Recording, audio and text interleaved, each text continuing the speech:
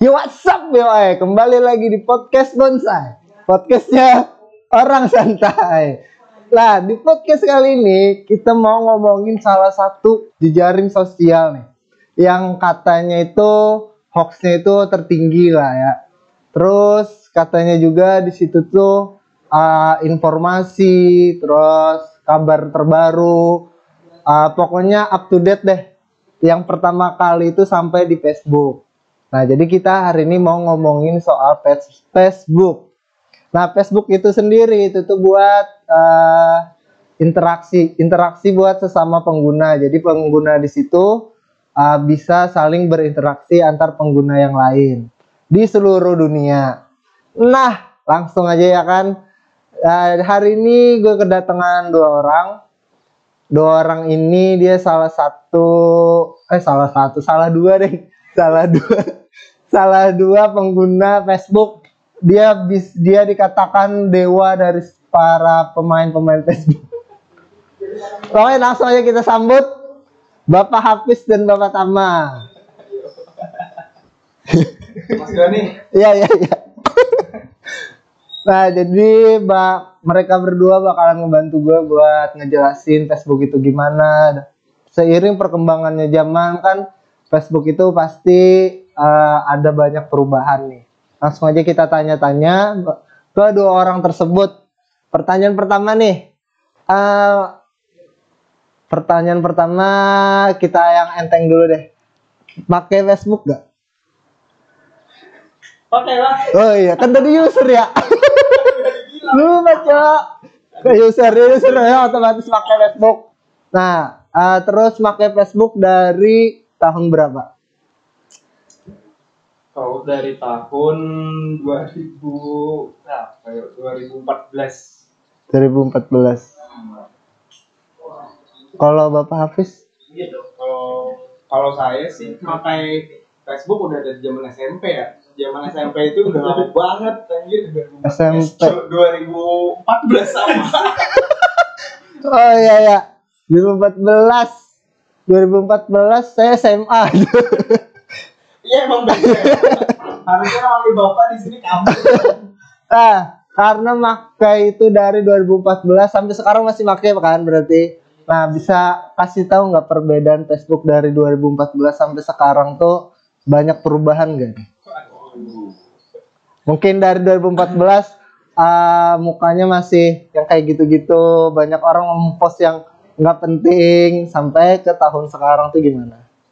Ya mungkin kalau perbedaannya tuh yang paling kelihatan jelas tuh bisa dari profil-profil orang tuh. Hmm. Kalau kan tahun 2014 tuh kan misal kayak uh, nama profilnya tuh Donichi anak bisa gitu kan bisa bisa. Ya ya ya Kalau ya. sekarang sudah normal sudah pakai nama-nama biasa lah. Hmm. Sama kalau tahun itu juga penggunanya lebih banyak ya kan kayak maksudnya itu orang lebih dominan gunain Facebook. Ya. pada tahun yang segitu orang kayak ngupload foto di Facebook terus itu mau nulis-nulis sesuatu di Facebook. Tahun-tahun segitu sih emang lagi aktif-aktifnya ya. Mungkin apa karena emang belum banyak sosmed lain sih. Soalnya kan pas tahun segitu ya selain Facebook selanjutnya apa sih? Twitter, Twitter, yang udah lama. ya udah terlalu apa gitu lah terus menangnya Facebook pas tahun 2014 itu game online-nya nah Iya bener banget. Hmm, ya benar benar benar. Macam-macamnya kan ada Ninja Saga, terus itu banyak Perang semut. asik banget sih orang sebut. ya ya ya. Nah, terus um, kalian berdua nih biasanya pakai Facebook itu buat apa? Ini buka-bukaan aib nih Oh gitu. Iya buka-buka. Sekarang ya kan, Iya. sekarang Kak. kalau dulu sih buka Facebook tuh buat nyari yang lucu-lucu. Biasanya nyari informasi-informasi juga masih dominan di Facebook. Nyari teman dulu, nyari Ya. teman ya kan. Kita bisa temenan sama siapa aja dulu ya Facebook ya. sama apa ya dulu di Facebook itu buat apa sih namanya selain selain main game online kan dulu di Facebook tuh cari kayak meme meme dulu kan dulu kan Iya. yang terkenal kan kalau di Indonesia kan ada namanya meme komik Indonesia nah Komik Oh. Indonesia terkenal banget juga. Terus menurut kalian berdua nih Facebook tuh bermanfaat nggak sih buat kehidupan lo ya? bermanfaat gak? Eh, ber- kalau dibilang bermanfaat bermanfaat cuma tergantung orangnya lagi Hmm. kalau dia memakai Facebook untuk hal yang nggak bener ya hasilnya nggak bener gitu kan Terus buat Bapak Hafiz? Kalau saya sih lumayan bermanfaat ya Facebook. Hmm. Entah dari dulu atau sekarang punya masanya masing-masing. Kalau misalnya dulu buat informasi dan hiburan aja, sekarang lebih ada namanya di Facebook itu marketplace. ya Ya itu kan marketplace itu ada tempat yang bisa kita jualan, nyari barang second, barang baru atau apa pun lewat di Facebook. Jadi itu fungsinya lebih kayak bisa menjadi mata pencaharian mungkin, bisa menjadi jalur kita untuk mencari barang-barang tertentu. Lebih lebih meluas sih sekarang fungsinya. Makanya Hmm. jadi itu orang-orang yang pakai Facebook kadang orang-orang tertentu doang. Itu sih pak. Oh iya iya iya. Nah jadi eh, dari apa yang dibilang bapak mereka, bapak mereka, bapak berdua ini, bapak berdua ini eh, kalau bisa itu kan dari pengalaman mereka berdua ya kan, dari pengalaman para penonton bisa mungkin berbeda lagi. Nah kita tarik lagi kasusnya. Eh, jadi gue pernah dengar kasus-kasus hoax di Facebook itu lumayan banyak nih. Nah, buat kalian berdua nih, eh, pendapat kalian soal kasus-kasus hoax di Facebook itu gimana?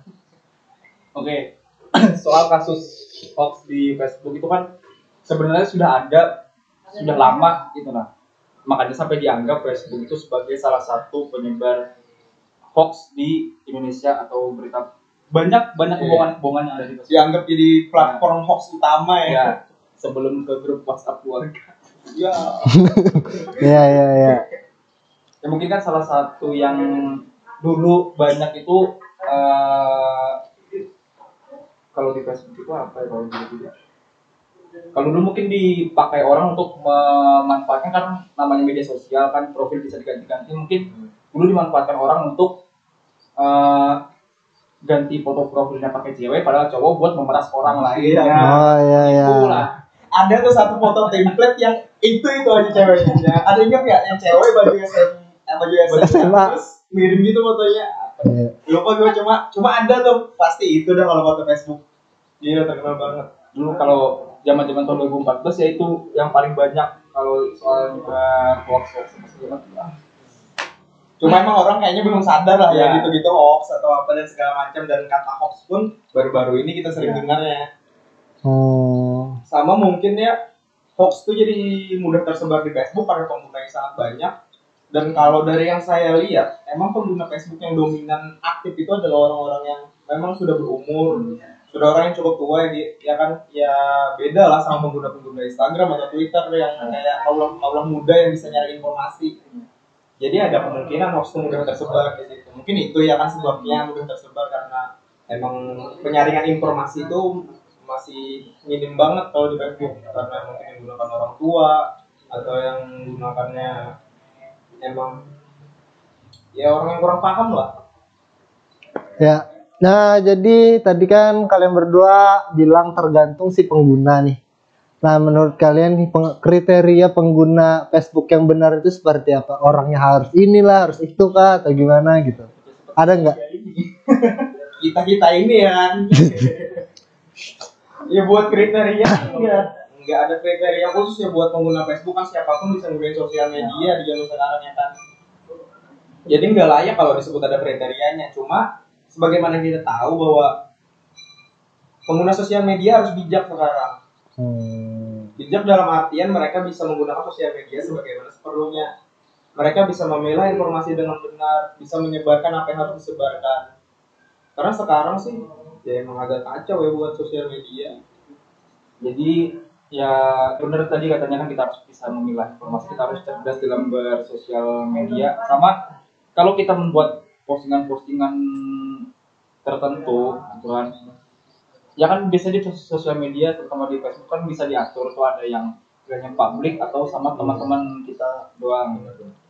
Tuh, Jadi harus benar-benar dipilah apakah postingan kita oke lah mungkin eh, kita tujukan untuk eh, mengefek seseorang mungkin kan tapi kita lupa eh, atur settingannya tuh ke teman aja ke temannya ke publik dan jadilah sesuatu yang ya yang diharapkan lah. Itulah yang kayak kurang bijak ya kan jadi mulai sosial media tuh Oh ya. Ah, jadi menurut kalian berdua nih, lebih baik Facebook itu digunakan untuk informasi yang bersifat eh, gimana ya?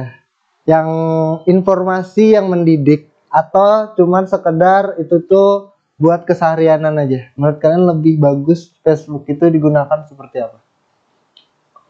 Kalau dari aku bagusnya sih lebih bagusnya Facebook itu untuk dua-duanya bagus. Sebenarnya. Hmm. kita bisa mencari informasi berita-berita up to date dan apa segala macam. Sama kita juga bisa membagikan uh, keseharian-keseharian kita. Cuman itu tadi uh, batasan kita dalam memakai Facebook kan sosial media gitu. Itu yang lebih harus diperhatikan supaya nggak keserang hoax. Ya. Iya iya iya. kan ada kayak hoax baru-baru ini kan yang uh, dari DPR kan bilang ada pokoknya ada yang bilang kalau Indonesia nggak dapat jatah haji itu tahun ini.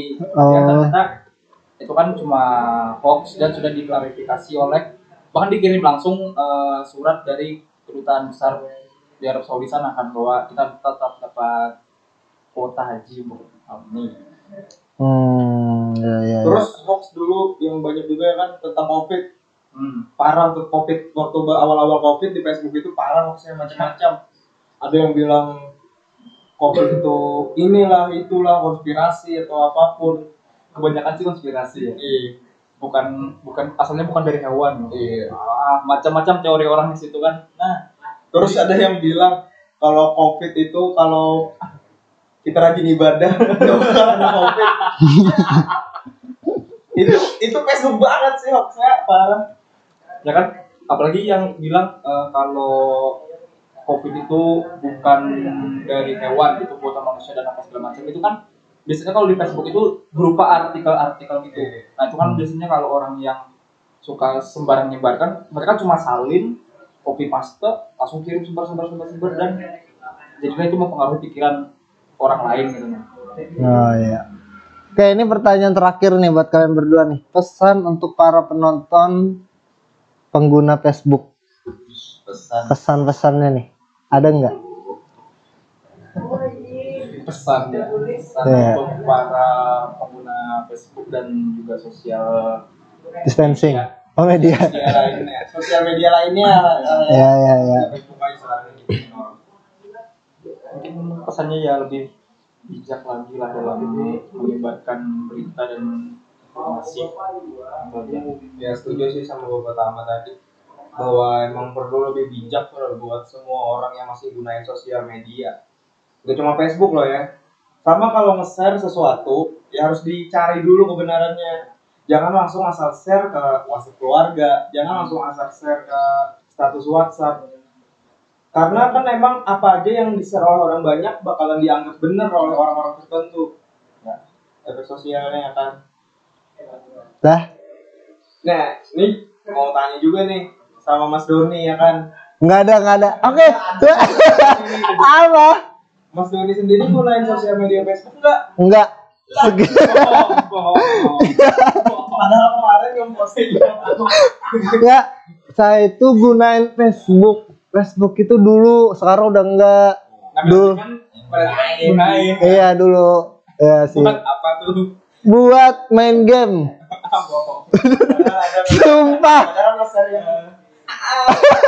Enggak ada, enggak ada. status malam ini ku sendiri Enggak ada, enggak ada. Ya. satu satu perusahaan sama gua. Saya pencari cinta. Iya iya. Dulu ada, dulu ada perusahaan gitu. Satu perusahaan sama gua. Ya ada pokoknya itu aja kan. Nah, eh, hari ini podcast. Nah, kebalik kan podcast hari ini. Di podcast hari ini eh, kayaknya cuma itu aja yang bisa disampaikan dan pesan-pesannya tadi semoga masih bisa ya difilter lah ya. Eh, menurut kalian itu baik atau enggaknya tuh mohon difilter. Sekian podcast bonsai hari ini. Doni Linggarenaldi pamit undur diri podcast selesai podcastnya orang santai Ya, makasih.